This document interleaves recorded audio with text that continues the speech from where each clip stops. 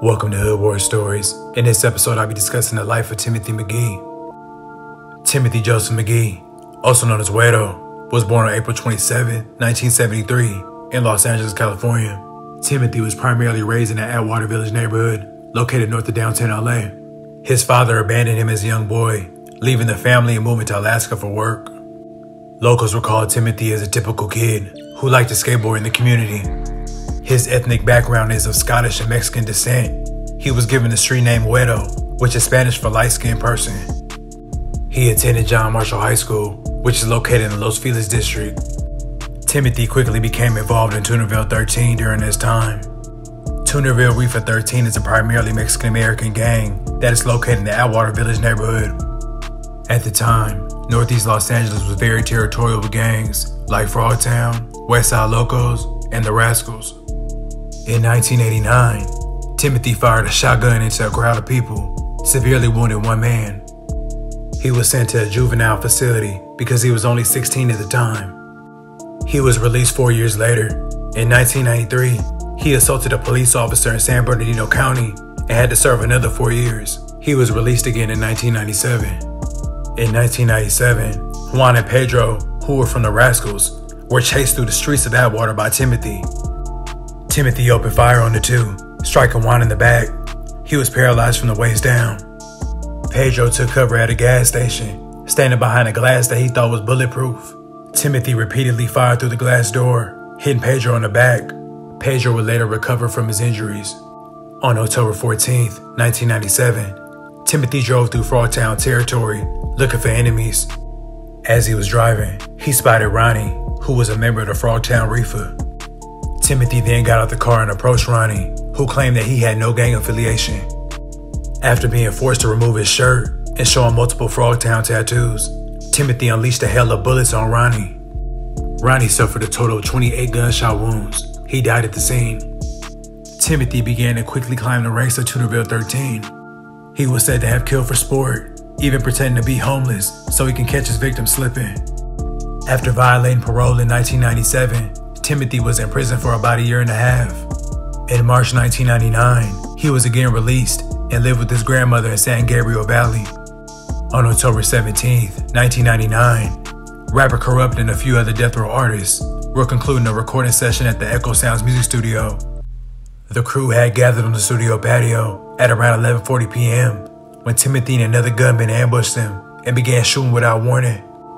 Kurupt's bodyguard, Dwayne Draws Dupree, was hit multiple times and pronounced dead at the scene. Death row artist Javon Norillis Jones was wounded in the foot, and Willard Actorfool Givens was wounded in the calf.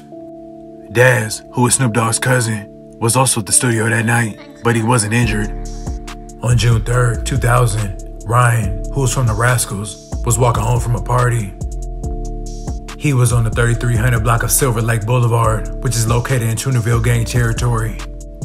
Timothy then spotted him and began to open fire. Ryan was hit and died at the scene.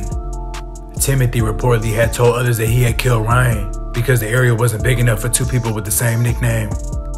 He didn't just limit his murders to gang members. On September 14, 2000, Timothy allegedly shot and killed Marty Robow Jr. Marty was a 17 year old high school student who was drawing a picture at the LA River that day. He then turned his gun on 33 year old David Lamont Martin, who was a homeless man Timothy believed had witnessed the shooting. Allegedly, while standing over David's body, Timothy turned to his fellow gang member and commented without emotion that he was hungry and wanted to go get something to eat. During his reign over the Atwater Village, Timothy ran his gang like a military organization, making members take part in group exercises and target practices. He also introduced Toonerville to tactical training and insisted that armed sentries be posted at every main thoroughfare into his territory with cell phones and radios to alert him of any suspicious activity. Over time, his killings became more frequent and less selective. In the pre-dawn hours of July 4th, 2000, Timothy used a police radio scanner to track the progress of two LAPD officers as they chased three Toonerville members into the heart of the gang's turf in Atwater Village. Gang members threw a washing machine and a bicycle in the road, causing a police car to swerve toward two gunmen that were waiting in the dark. Bullets struck the car, one tore a hole in the officer's pants, but neither were injured. Timothy had been incarcerated again for another parole violation, but this time at the California Institution for Men. He was released again in May 2001. Starting in June, he was suspected of shooting nine individuals in the span of five months, leaving six people dead and three wounded. The shooting spree began on June 11, 2001. Timothy was allegedly driving through the Los Feliz area when he spotted Manuel, who was just passing through with his pregnant girlfriend. Timothy allegedly opened fire on their vehicle on Los Feliz Boulevard near the Interstate 5. Manuel was pronounced dead, and his girlfriend suffered severe brain damage, but their unborn baby was successfully delivered. In July 2001, Carlos was working at a furniture warehouse on North San Fernando Road in Atwater Village. Authorities say that Timothy had driven by and seen Carlos and ordered gang affiliates to kill him because he did not recognize him. The homicidal order was carried out successfully. Sometime in early August of that same year, Atwater Village resident Sherry Wasowski had reported to police that Timothy was dealing drugs out of his sister's house that was nearby. On August 8, 2001, Timothy and another gunman allegedly walked up and opened fire on Sherry's vehicle, fatally wounding Sherry, her mother Marianne, and their neighbor Briam. On November 8, 2001, Timothy was allegedly roaming the streets with a fellow gang member, seeking revenge over the death of a comrade that happened hours earlier. Armed with handguns and rifles, they came upon a rival gang member, Dwayne. Dwayne was driving his Mitsubishi with his girlfriend Marjorie and a friend Erica on the 3100 block of Hollydale Drive. At around 12 midnight, Dwayne pulled up to a residence. Timothy and Eduardo allegedly pulled up in front of them. They proceeded to exit their vehicle and open fire on the Mitsubishi without warning or without any verbal altercation. Dwayne and was struck in the right hand, while Erica ducked in the back seat to avoid injury. As Dwayne threw the car in reverse and accelerated away, Marjorie was hit multiple times. She was driven to the Glendale Memorial Hospital, where she later died. Toonerville gang member Eduardo was arrested the following day. Homicide detectives announced on November 27, 2001, that another suspect, Timothy, was still at large and a warrant had been issued for his arrest. A detective noted that ever since Timothy got released from prison, crimes in the Atwater area have skyrocketed. Christina Duran, who was a friend of Timothy's, had learned of Marjorie's murder after Timothy had asked her for help that same day. He needed to retrieve his girlfriend's cell phone that he had dropped at the scene of the Marjorie murder. Christina was unsuccessful in finding the cell phone, but police managed to locate it and use it later as evidence. Shortly after the murder, Christina admitted to police during a videotape interview that Timothy was involved. During the interview, Christina was shivering and shaking and kept expressing her fear of retaliation. Two days later, after speaking with police, Christina was murdered execution style on the 13200 block of Fairgrove Street in Baldwin Park. She was celebrating her 29th birthday that night. She was allegedly shot by Timothy five times in the right side of the head. Timothy wrote rap lyrics as a hobby, but never seriously pursued music. Most of his lyrics referred to his love of killing and his hatred of the police.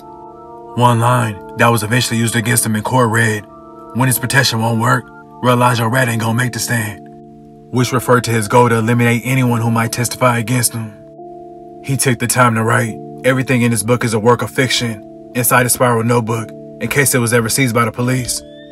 This did not deter the prosecution in his eventual trial. A task force was initiated in 2002 after linking Timothy to numerous homicides.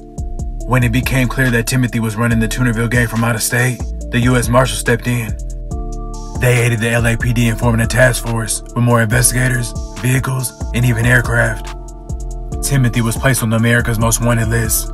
He spent months shifting between Atwater Village, Las Vegas, and Arizona, never staying in one place for more than a week at a time. He would even throw off police by staying in rival gangs' neighborhoods.